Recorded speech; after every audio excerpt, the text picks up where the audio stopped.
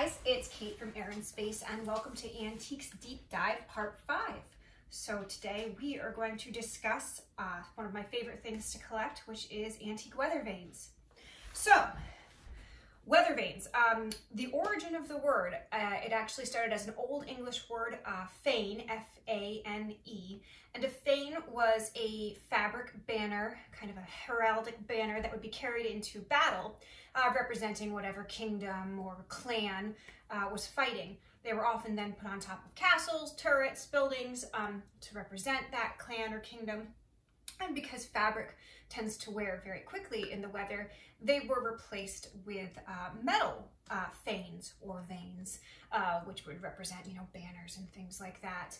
Um, now, we don't really know when people started using weather vanes to indicate the direction of the wind, but we can assume that they were relying on something, some sort of um, type of that basically as long as people have been sailing and uh, relying on the weather um, to uh, farm. So we know that one of the earliest weather vanes uh, recorded was on the top of the Tower of Wind, which was in Greece, and it was in the form of the god Triton. Uh, and that was in 48 BC. So obviously there is a very, very long history of weather vanes being used.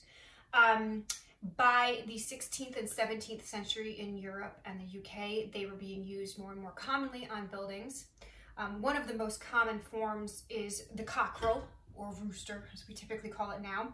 And one of the reasons that the rooster is one of the most common forms of weather vane used, which I'm just going to kind of put that so you can see that's a very typical form, um, was because in the 9th, 9th century, there was a papal decree that all religious buildings had to have a cockerel weather vane or a weathercock as they were called at the time uh, on top and that was to represent the betrayal of um, uh, Peter's betrayal of Jesus uh, which I don't really know about religion but that, that is what I know is the rooster represented that. By the 17th and 18th century the rooster really didn't have that much of the, the religious connotation that it did um, much earlier. So in America, we know that there were weather vanes on buildings in the 17th century, which is of course the first um, time when we have a lot of European colonists building up buildings in, in the United States, in, in America. Um, there are very few surviving examples of 17th century American made vanes and all of them date to the last quarter of the 17th century. Uh, most of them are iron. Um, there probably were wooden ones that were made, but of course wood survives much less than uh, metal elements do in the weather, and these were exposed to the weather. Um, one of the most famous 18th century weather vane makers was a fellow named Shem Drown, and he was born in 1683 in Kittery, Maine. And by 1692, we know that he's living in Boston. Uh, and he was a, a fine craftsman of metals, uh, and including weather vanes, and created some of the most important and amazing weather vanes that are even now still on buildings. Um, his best known weather vane and probably the most famous weather vane in America is one that he made in 1742 of a giant grasshopper which sits atop Faneuil Hall in Boston uh, and still to this day. He's got several weather vanes that are still on buildings in Boston to this day, which is just an absolutely incredible uh, legacy. And he passed away in 1774. Um, just after the colonial revolution, we see a big surge in very patriotic weather vanes because there's a whole, you know, amazing diversity of subject matters that vanes cover. Um, a good example would be uh, the weather vane that George Washington commissioned to have put on top of uh, Mount Vernon was in the form of a dove to represent this newfound peace that we had found as the United States after the war. Um, other patriotic elements you see are eagles and um, the goddess Liberty, um, various kinds of Americana, things like that. Um, weather vanes, in terms of subject matter, also would represent either the career or hobby of, of the person that was living on the property. And really, by the last quarter of the 18th century and the beginning of the 19th century, they were very common on many homes and many businesses, um, both for the purpose of, you know, displaying um, the direction of the wind, which people still needed to know, but also to, to, to um, represent the um, you know the, the, the pride that the homeowner had in their property. I think it appealed to the egalitarian sense of of, of the of the new um, United States to you know your own kingdom and so you would have your own banner and that would be say if you were a sea captain it could be a codfish or a sailing ship um, or if you were a lawyer it might be a quill or a shoe if you were a bootmaker um, so uh, we see just an incredible variation on forms and there's also a lot of variation in the level of skill that the people making weather vanes uh, demonstrated. So there are very, very um, homemade efforts, even in the 18th and early 19th century, people who were making them themselves either out of wood or iron or material materials they had laying around. Um, and often those are extremely charming, if naive, um, and um, really unique, kind of beautiful examples of folk art. Um, and then there were others that were being made by highly skilled craftspersons like like Deacon Shem Brown, Drown. Um, so with the Industrial Revolution, which um, this is a drum that I'm going to beat a lot in a lot of these uh, deep dives, is that um, the Industrial Revolution really changed the way that uh, material culture was created in our country. So um, we really see this change from people, individual craftsmen making these on a one-by-one -one basis to them being mass produced. Um, so again, I'm gonna bring my little rooster over here. This is not a 19th century weather vane, this is a 20th century weather vane, but it's a pretty good visual example of what we see from the 19th century vanes. Um, again, all different subject matters, and you could either order um, your weather vane from a catalog, or if you had a lot of money to burn, you could commission a custom one, but they would of course have to make a mold. Um, and some of the um, major manufacturers, uh, AJ Jewell and uh, JW Fisk, uh, J. Howard. Um, there were probably three or four dozen manufacturers making these on different levels post-Civil War. Um, and really from about 1875 to 1900 was like the heyday of those weather vanes. Um, most weather vanes manufactured in that way are made in a, in a two, two-part mold. The copper would be hammered into the mold, um, and then it would be um, soldered with lead, which that's what this is right here. This is a very sloppy example. And uh, a good way to judge the, the um, difference between a 20th century weather vane and a 19th century weather vane is that the 19th century ones were very detailed, beautifully, so they would take them out of the mold and then they would chase them to make even more detail so the feathers would really show, you know, this tail would have all these incredible feathers too. Um, and by the 20th century, they're just kind of banging these out in a, in a machine. Um, so um, when we look at collecting weather vanes, and I do enjoy collecting them. Um, I don't have the finances to get really, really good ones. Weather, good weather vanes can be extremely valuable. Um, some examples of some very valuable weather vanes that have sold over the years. Um, a uh, horse and rider weather vane sold at Sotheby's in 1990. Um, and it was made by uh, J. Howard, which is one of the major manufacturers in the late 19th century. Um, it was a rare form, great surface, and it brought, I believe, $770,000. Uh, another example of a valuable vane that's sold recently. Um, Skinner's sold one in 2010 of a quote unquote touring car, which was kind of an early open form of car. Um, it had been made in 1910 and it brought um, $941,000, so just under a million dollars, which really gives you a sense of the, the very top shelf vanes really can bring absolutely incredible uh, prices.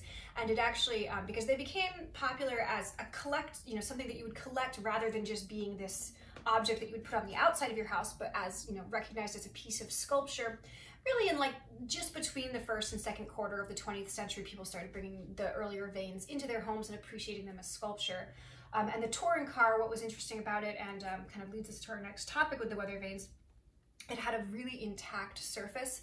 Um, and when we're examining the value of a weather vane, surface is just so important. Um, and the reason its surface had, was so intact was that it was brought in, um, I think in the 1950s or 60s, it was brought inside, so it didn't weather over the course of 100 or 150 years. Um, so when we talk about surface with weather vanes, I think, um, and I'm just going to bring up another example here so you can see this is a sweet little weather vane I got um, at the flea market oh, probably eight years ago, and I think I paid $15 for it, which was a good a good buy because weather vanes are, are quite valuable. Um, but this is a very simple form, which is one of the reasons it was so cheap. Um, so what I want to talk about is this color, this beautiful kind of teal, soft, like almost a chalky surface, and that's called verdigris. And verdigris is uh, the surface that we get when copper ages. Um, it's it's a, a, patina is the other word that we would use. Um, and so I'm gonna also show you, this is a modern weather vane. This is a banner weather vane, which is one of the forms that we commonly see. And so again, this harkens back to that heraldic form of the earliest vanes that we would see on um, castles. And um, this has never been outside. Um, it was probably always made just to be an indoor decorative piece, and that's why the copper is still the color we recognize as copper. It hasn't got really any verdigris at all. Whereas, whereas this was outside and so has this beautiful color. But there's actually a step with the antique vanes between uh, bright copper and the verdigris that we most uh, typically associate with vanes, and that would be gilding. So in the 19th and early 20th century, um, these copper vanes would not just be copper and been put outside. Um, the owners wanted them to be flashy. They'd spent a lot of money on them. I mean, the prices in the catalogs could vary from like 650 which was a lot of money back then, to say $300, which was a fortune back then. So this was a very valuable piece of your architectural appearance of your structure. Um, and so what they would do is they would coat this with a yellow paint that was called sizing, which essentially was like priming the copper, and then they would gold leaf it. It was gilt. And so you can picture how spectacular these bright gold um, weather vanes would be up in the light, catching it as they spun. Um, and then over time, eventually that gilding would wear off and the sizing would wear off. So when you're looking at a very early weather vane, um, a good indicator that it is an actual antique is that you can still see uh, remnants of the sizing and sometimes the gilding. And of course, that touring car that, that brought $941,000 had most of its gilding still, which was really incredible. Um, and when you're looking at where you want to see that, it's going to be in the places that are protected from the weather. So down in these kind of safe spots where if you're thinking about the rain coming down and streaking down, these would be the last places where that surface would wear away. Now this, this vane, this rooster, which I got in Maine um, uh, a while ago, probably 10 years ago, and I think it was like $95. Um, this is from probably the 1930s or 40s, and I suspect it was never even gilt because by then they were really being mass produced and people just, everyone was putting them on their barns. Um, and nobody really bothers to, to gild their weather vanes these days either because it's expensive. Um, and because people really like the verdigris surface. So obviously gilding is ideal when you're looking at an antique weather vane, but it's extremely rare because of course they were in the weather. Um, so this verdigris is a very desirable surface. The other thing you typically see with uh, early weather vanes is that they might have bullet holes in them because kids would use them at target practice. Um, and surprisingly, that doesn't greatly impact the value of a vane if it's got a few bullet holes in it. Um, so weather vanes do occasionally get faked um, just because they are so valuable. Um, so you can get catalogs of um, the early weather vane manufacturers and hopefully identify your vane based on form because they were pretty specific to the makers in the 19th century. Um, and of course, it never hurts to buy your weather vane from a reputable dealer um, and hopefully with a provenance because provenance really helps to establish that your weather vane is authentic. Um, and this is my only weather vane that's got kind of an interesting provenance. Um, and this, when I purchased it at the flea market, was actually still attached to the fence post that it had been on in front of a house in Union, Connecticut. Um, so we know that it's authentic, though it's probably from, you know, 1900 to 1925, so it's not early and the form is not rare, but it does, it does tell me that it is an original antique weather vane versus, of course, this great big copper banner, um, which is a reproduction. Um, so certainly it's an accessible place. You can start with smaller vanes like I have in my collection and later versions like the Rooster, um, or even here's a little piece of a weather vane. So this is of course the arrow that would have spun on top of the directional and um, these you can find fairly frequently. This would have been um, 1930s, 1940s, and really just this, this, the very simplest, most basic of, of weather vane forms. Um, and also I have here, this I got from a house in East Hampton, Connecticut a long time ago. Um, this is, I don't know if you can see the whole thing here, but this is the directionals of the weather vane. Um, so originally, this copper ball sits up here, and originally there would have been some sculptural vane like this sitting on here, but that's long gone because that was the most valuable part. And now we just have kind of the, the wrought iron directional and two copper balls. And I actually have this in my garden typically. Um, so, you know, you can, you can start with things like this. Um, when you're looking at a good 19th century weather vane, Um, really, they're going to be in the thousands just about always unless they have something wrong with them. And you should be highly suspicious of a weather vane that's, say, like this rooster or a horse that's being um, presented as being a 19th century vane and is less than a $1,000 because um, frequently they, they, they still hold a lot of value in the antiques market. Um, so thanks so much for tuning in. I hope this one I'll be able to do a follow-up on weather vanes um, down the road when I have access to um, some slightly better, um, more important vanes so we can see a little bit better the detail and the quality of a good 19th century vane so you can understand why they garner so much uh, money. Um, please like, share, and subscribe. Tell your friends. And if you have any questions, let me know.